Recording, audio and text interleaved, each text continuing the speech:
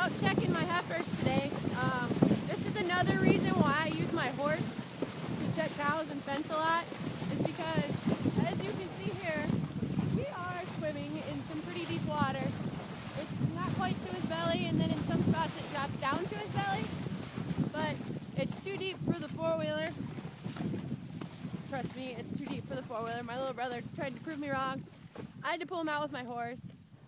But yeah, so a lot of our pasture, if it's not really hilly, it's underwater because everything that's not low ground or hilly is farmed in our area. So uh, yeah, I just get to ride my horse a lot, which is an alright deal because it's kind of how I make some money, ride horses.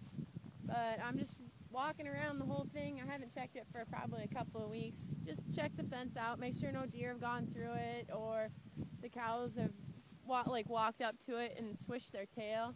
And that'll get the hot wire to um, roll up with the barbed wire. And most of our grass in the low areas here, like this up here on top, is a brome grass. And then like out there, you get your more of your canary reeds and I call that tickle grass, the white stuff there. I think it's actually a, some sort of a foxtail. I should know this, but I can't remember it off the top of my head. We call it tickle grass.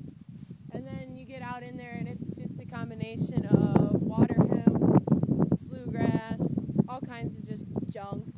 But it makes it nice when you have low ground because then you don't have to worry about watering your cows. Unless it's a year like last year where it was so dry that we had to water cows.